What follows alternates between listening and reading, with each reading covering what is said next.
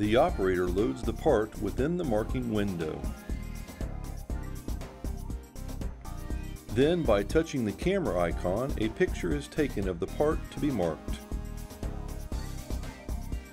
With the visual of the part on the screen, the operator can then align the mark within the image.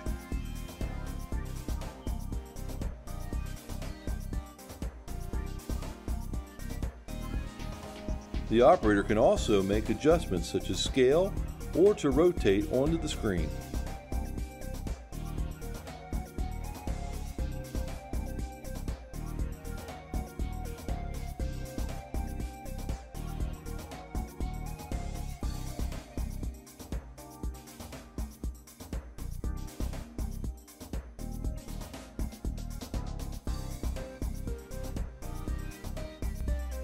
The mark will be in the exact location on the part as it is in the image on the 520 screen.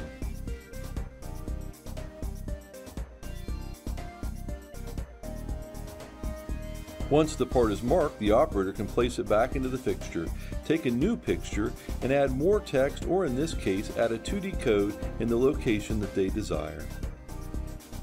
Even small parts and fine detail can be achieved with the zoom alignment feature.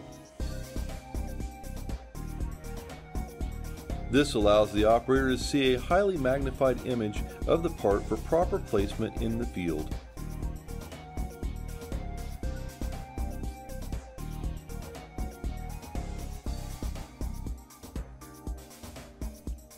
What you see is what you mark.